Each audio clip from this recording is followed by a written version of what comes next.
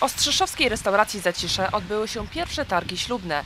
Impreza cieszyła się ogromnym zainteresowaniem par, które planują wstąpić w związek małżeński.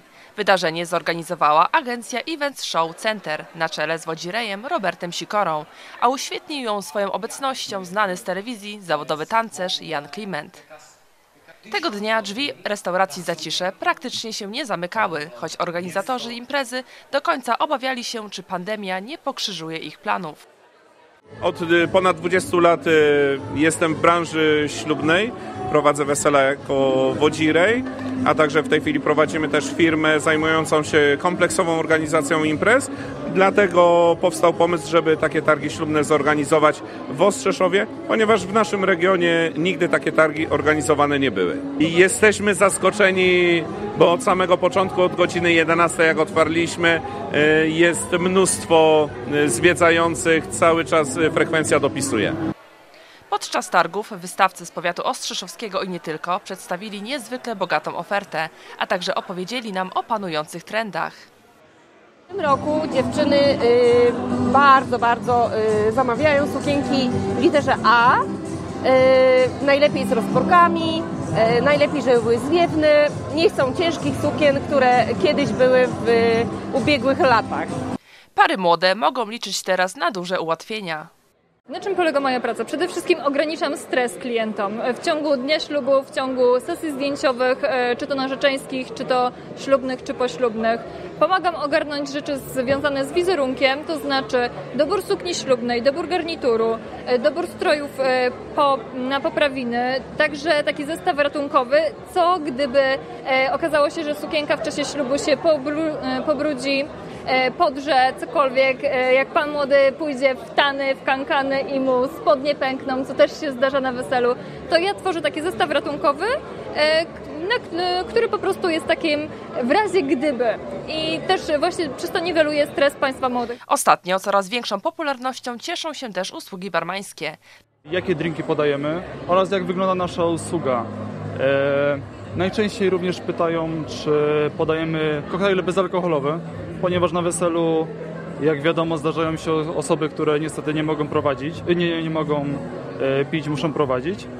No i myślę, że pytają również o cenę, no bo to jest jednak główny aspekt tego, e, jak to wszystko wygląda. Na targach można było znaleźć wszystko, co jest niezbędne do zorganizowania ślubu i wesela. Od fotografa po florystkę, słodki stół, czy nawet zespół muzyczny. I to wszystko w jednym miejscu.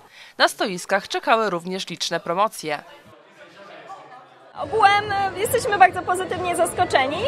Nie spodziewaliśmy się tak wielkiej różnorodności e, i stoisk i właściwie wszystko można znaleźć, e, czego się szuka na swoje własne wesele. tą klasyczną parą, gdzie termin się już bardzo bliski jest, a nie mamy kompletnie nic. Tak, tak jak we wszystkich programach na ostatni guzik. Największe poruszenie wywołała jednak obecność znanego tancerza Jana Klimenta.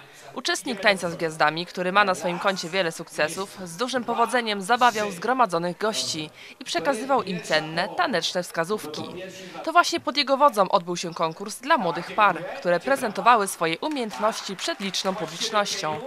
Najlepiej zaprezentowali się zakochani z Ostrowa Wielkopolskiego, do których powędrowały nagrody ufundowane przez sponsorów.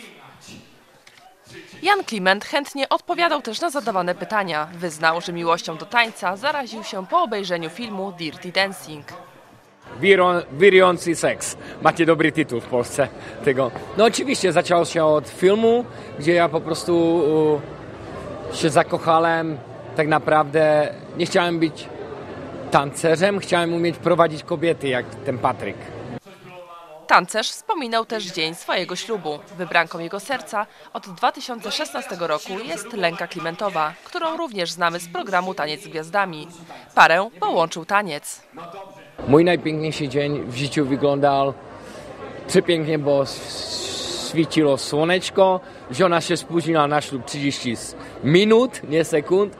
No i e, przyjechało bardzo dużo gości z Polski, co po prostu ja bardzo szanuję, bo ślub był w Czechach i jeszcze nam rozkręcili do tego imprezę, bo się dużo tańczyło. No i ślub był przepiękny. Żona po prostu obłędnie mnie zaskoczyła, bo 9 miesięcy ukrywała, że się chodzi uczy śpiewać i potem zaśpiewała. Kliment doradzał również młodym parom, czym powinny kierować się przy wyborze pierwszego tańca. Oczywiście pary młode by mieli wybrać sobie taniec taki też troszkę pod siebie i troszkę, aby mieli wspólną muzykę, którą po prostu kochają, mają piękne wspomnienia na to i myślę potem się decyduje, jaki taniec do tego zatańczycie. Je trzeba zabrać po prostu minimalnie 10 lekcji, nauczyć się i za 10 lekcji się nauczycie tańczyć na ten ślub.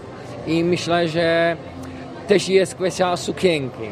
I to jest bardzo rzadko po prostu nad tym myślą te pary młode, że, no bo pa, pani młoda, że po prostu jak jest sukienka, na przykład długa, to nie możemy tańczyć aż tak rock'n'rolla. To byśmy się musieli przebrać. No i te, trzeba też pomyśleć, jaki rodzaj sukienki, do tego można też dopasować taniec. Pierwsze targi ślubne z pewnością należy zaliczyć do bardzo udanych. Dlatego też ich pomysłodawcy już teraz myślą nad kolejną edycją, która ma się odbyć jeszcze w tym roku.